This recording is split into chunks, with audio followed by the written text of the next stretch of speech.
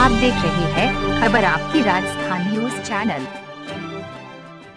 चित्तौड़गढ़ ज़िले के आकोला क्षेत्र में विजयदशमी के पावन अवसर पर रावण परंपरागत तरीके से वध किया गया। नामदेव विकास समिति के सदस्य ने बताया कि इस वर्ष कोरोना महामारी को देखते हुए रावण का पुतला का दहन नहीं किया गया।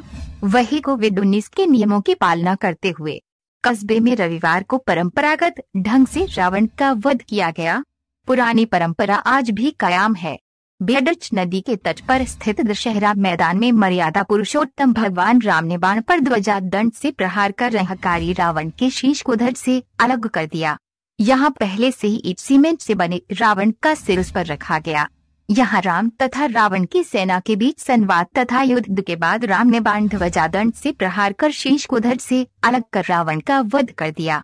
कस्बे के स्थित छिपो का मंदिर से भगवान चार भुजा जी के बेवाण में विराजमान कर मुख्य मार्गों से होते हुए ढोल नगाड़े के साथ भगवान श्री राम दशहरा मैदान पर राम सेना की पहुँचती है।